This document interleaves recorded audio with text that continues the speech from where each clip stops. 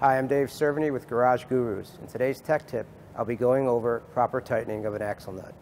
A lot of techs will use an impact gun while tightening the axle nut. What this does, it can over tighten the bearing and cause premature wear on the bearing.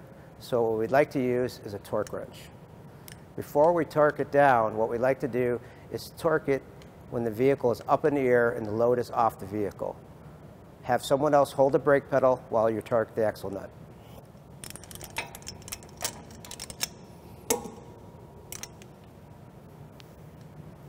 I'm Dave Cerveny with Garage Gurus, and thank you for watching. For more tech tips like these, be sure to subscribe to our channel.